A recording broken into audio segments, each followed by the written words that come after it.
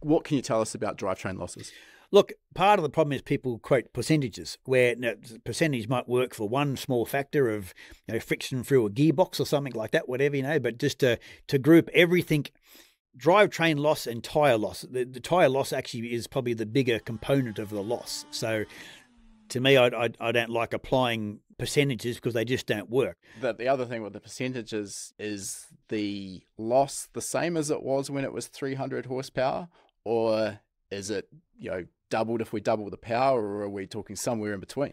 Well, there's obviously going to be more frictional losses through the drivetrain, and you're going to have potentially more tyre loss because there's more heat generated in the tyre. So you're going to have more loss. I certainly wouldn't go down the track that you're doubling just because you double the power, you double the loss. Ultimately, what I'm trying to get at here is this isn't a simple thing that you can apply a one size fits all solution to and, and you know be happy with that. No, because drivetrains are different. Front wheel drive versus rear wheel drive. Front wheel drive cars typically have less drivetrain loss because there's just less parts involved at the end of the day. So